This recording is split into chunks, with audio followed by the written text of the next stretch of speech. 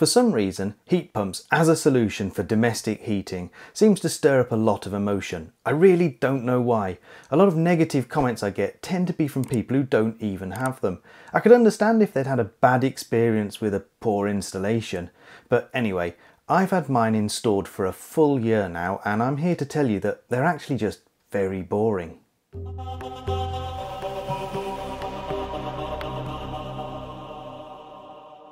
So early December 2023, I had Octopus Energy turn up and install a new 6 kilowatt Daikin heat pump to replace my old regular gas boiler. It took them about a week, but by the end of it, I had a clean and efficient heating solution installed. I made several videos documenting that whole process, so check out the links in the description if you want to watch those. But it was those videos which attracted a lot of odd criticism. Now I'm not telling you that you must get a heat pump, I made the decision that it was the most appropriate heating solution for my home and I documented the whole process for the benefit of others who might be thinking about doing the same. If you're not interested in getting a heat pump and in fact actively hate heat pumps for some reason, why are you watching a heat pump video? It is illogical.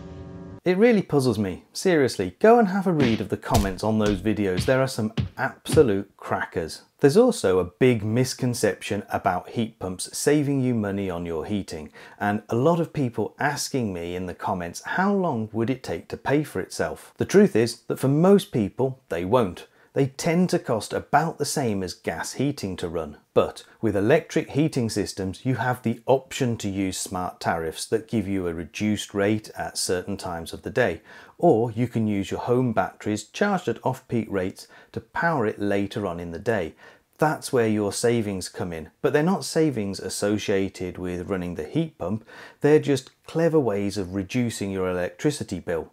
But all of that is missing the point because heat pumps really are quite boring. I had mine installed, there was the initial, ooh, it's new and shiny and a bit different factor, and then sat there working with no drama. My house was warm all of the time, but energy bills about what I had hoped for. And that's it. Well, what more do you want from it? I had it serviced just before the end of the first year. That was an hour of excitement, I suppose. I tell you what, just to hammer home how boring heat pumps are, I'm going to give you lots of energy data from the last year. How's that? This is the first graph of many and it's taken from Home Assistant which I've been using to monitor how much energy my heat pump has needed. So you can see on that bottom graph that I used 2,534 kilowatt hours of energy total over 12 months. Now if we look at the monthly breakdown graph above, those yellow segments show how much the heat pump used each month. And yes, there are two Decembers because the heat pump went live on the 8th of December last year. So a full 12 months also includes the first week of December this year too. It's easy to see how energy use dropped in the summer months when the heat pump was just providing hot water. It's also very clear to see that my EV used a lot more energy than my heat pump did apart from in May when the Corsa was mostly off the road, but that's a totally different video for you to go and watch. So seeing how much energy I used is great and all, but it doesn't give you much context. So the best way to demonstrate this is by comparing it to how much gas I used to heat my home the previous year. And luckily, I monitored that data too. This is a month by month breakdown of my heat pump's energy use compared to my gas boiler's energy use in the previous year.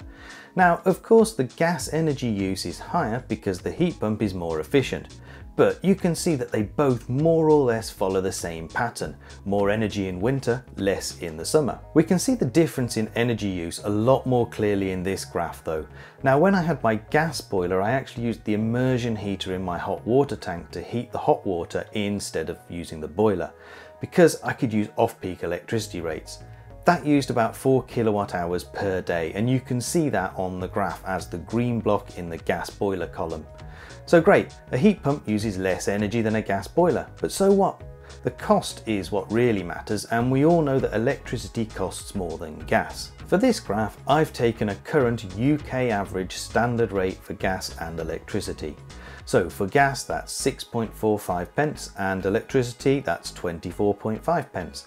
If we compare the two scenarios then the heat pump costs £594 compared to the boiler and immersion at £820.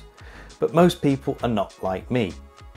and use their gas boiler for hot water, so I'm going to try and make this fairer. Let's pretend that the electricity used by the immersion heater was actually gas. If we do that, then the more realistic total gas cost would have been £557. So £594 versus £557, it's pretty much ballpark similar. It still doesn't tell the whole story though for me because with the gas boiler, I didn't run it as often or to heat as many rooms. I tuned it to be as mean as possible with the amount of gas I was using. With the heat pump though, it's on almost all of the time, keeping the whole house at a reasonable temperature. Generally, the house is a lot more comfortable all of the time because of the heat pump. So I'm getting more for my money now, and there's even more. I've got home batteries, so I can charge those up overnight using off-peak energy rates and use them to run everything in my home, including the heat pump.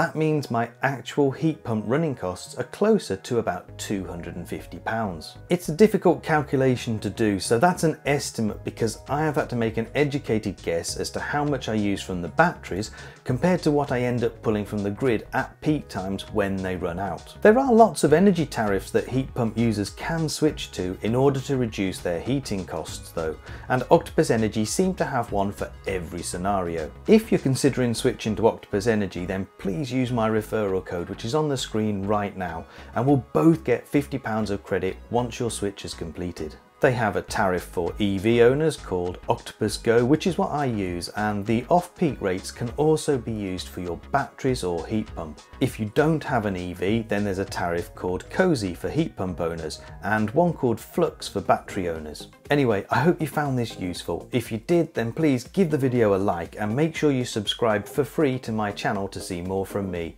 A huge thank you to these guys here who are my channel members. If you'd like to support the channel by becoming a member too, then check out the link in the description. You'll get perks like early access to my videos and some extra bonus content too. Thank you for watching. Goodbye.